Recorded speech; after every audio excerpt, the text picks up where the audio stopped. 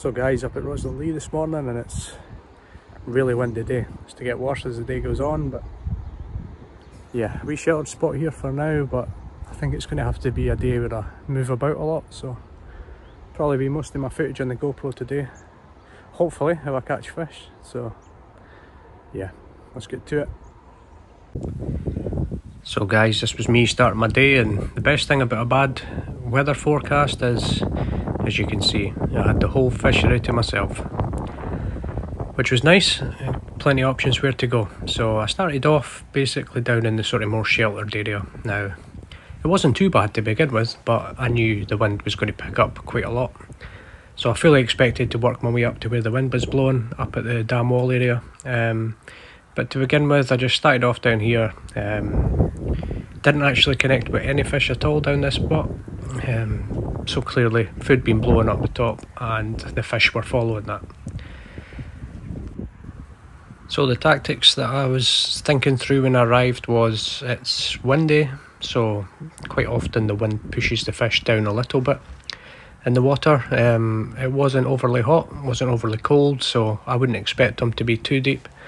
So my kind of thought process was potentially on a midge tip, that kind of line, um, and try and search and try and find out where they were in the water. So as I say, started off in the sheltered part here um, and gradually worked my way up the water to where the wind was blowing.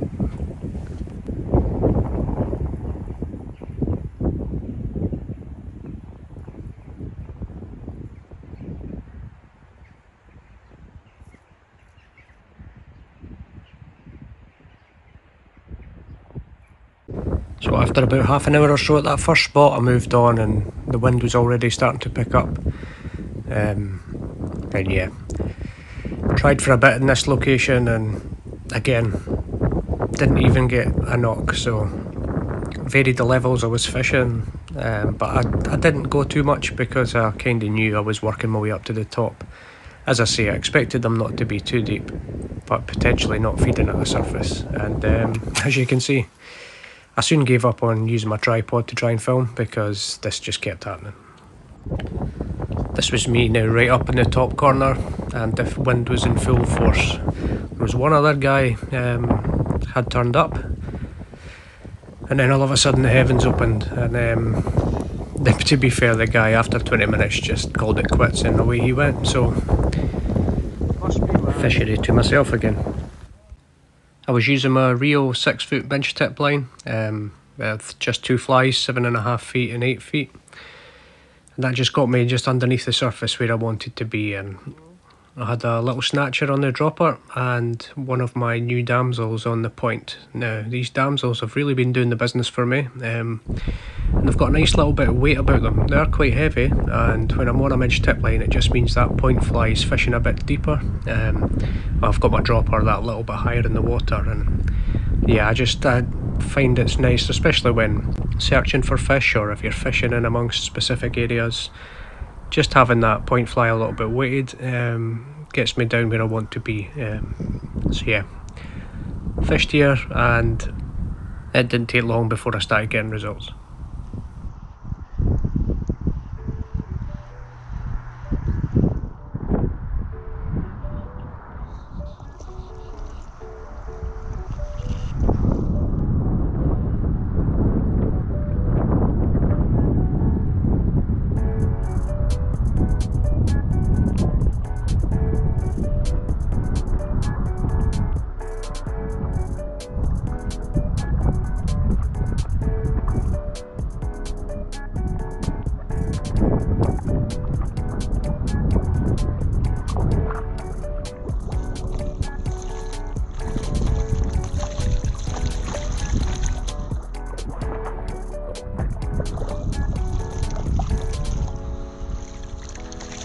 Guys, nice and quick into the net. Beautiful little trout that.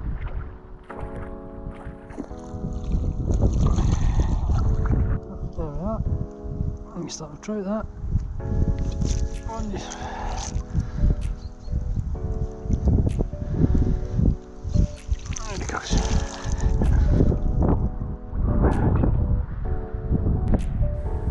So that fish was caught on the snatcher and it was actually the second fish I'd caught. The first fish I caught on a damsel when it was pouring the rain and on reviewing the GoPro footage it was, um, yeah, you couldn't see a thing. So, great start to the day and I just wanted to change up the, the point fly here.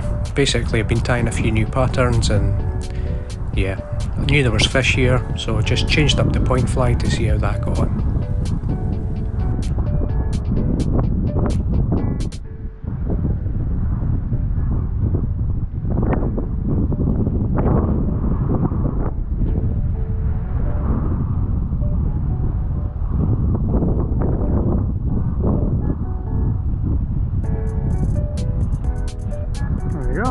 Bıraktım kenara.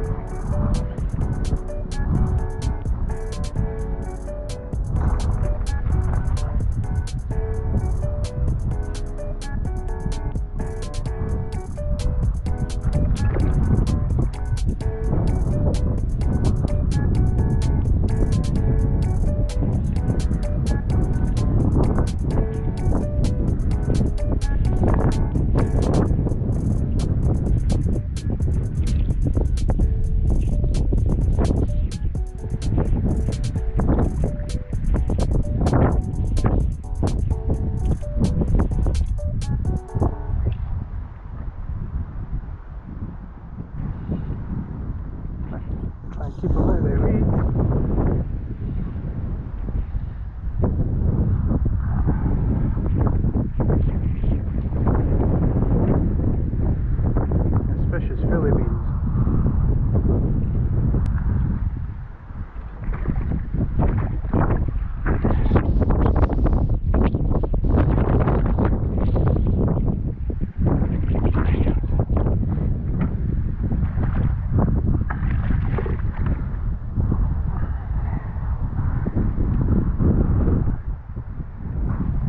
fish. Let's get him back.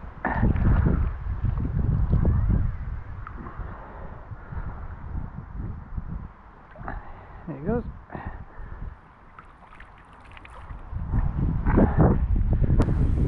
So at this point I decided to change the method a bit just to try and show how to catch fish using a different method and switched over to using the bung. Um, so the setup was 9 foot to the bung, um, 3 foot to the first fly and 3 foot to the next fly.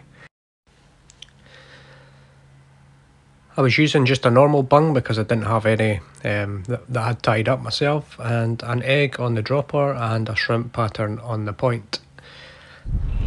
It didn't take long after using this method to go into a fish as you can see, nice little jump there. Um, and there was quite a lot of weeds under the water in this area and the fish were just hanging about in this area maybe about three foot down um, and yeah I was able to just cast the bung out suspend the flies and just drift them nicely um, in areas of the weed beds and the grass under the water and yeah proved very effective and definitely a good way to fish in and amongst weed beds.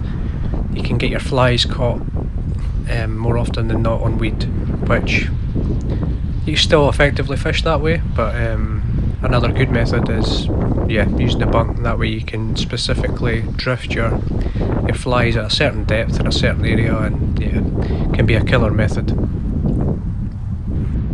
My GoPro battery actually just ran out as I got this fish to the net, but changed my battery, cast out with the bung again, um, and again didn't take long to get into another fish. Um, I changed the the colour of the egg just for a bit of a variety, and actually this fish um, took the egg. So yeah, very effective, especially when it's windy. Um, you can sometimes if it's too windy, the bung can move too fast. So for example, if I was wanting to fish buzzers um, under a under an indicator or bung, prefer to do that when it's not so windy. But with patterns like this, um, I can just cast it out, let it drift round into the areas where I, th I think the fish are hanging out, and yeah, proves very effective.